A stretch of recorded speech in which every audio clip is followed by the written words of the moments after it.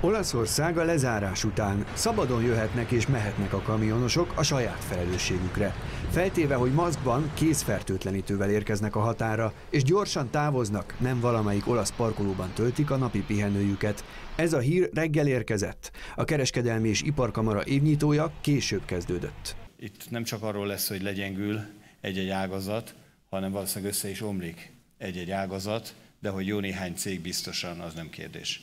Nagy vállalatok igazgatói, kisebb cégek vezetői és bankvezérek érkeztek a kamara évnyitójára. Bátran kezet fogtak egymással, de mindenki szóba hozta a koronavírust. Az egészségügyi hatás az az talán éven belüli, de a gazdasági hatás az több évre húzódik át. Egyelőre javult az életszínvonal. Tavaly az uniós átlag majdnem 73%-ára emelkedett az egyfőre jutó GDP nálunk. 2030-ra pedig megközelíthetjük az uniós átlagot a pénzügyminiszter szerint. Úgy számol, ezt nem akadályozhatja meg a vírus. Készek vagyunk arra, hogy gazdaságpolitikai lépésekkel is a magyar gazdaság eddig elért eredményeit megvédjük, és azt a növekedési előny pedig, ami az Európai Unióval szemben kialakult az elmúlt években, azt pedig megtartsuk. Ehhez viszont a gazdaság minden szereplőjének ki kell lépnie a komfortzónájából a miniszterelnök szerint. Biztosan sok mindent másképp kell csinálniuk, már most rövid távon el kell hagyni a komfortzónát.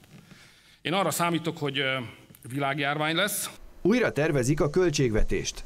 Sok 100 milliárd forintot csoportosíthatnak át, azt mondta, hogy segítsenek a gazdaságon. Ez mindenkitől követel majd valamilyen mértékű hozzájárulást, ezt majd megvitatjuk, oda eljutunk, hogy hogyan és miért. Ebből nem fognak kimaradni az önkormányzatok, az ágazati területek, ebből senki sem fog kimaradni, mert valahogy ezt meg kell oldanunk, hogy a gazdasági visszaesés az ne a 2008-as, 9-eshez hasonló mértékű legyen. A turizmusról azt mondta, idézem, az idei szezon kampó.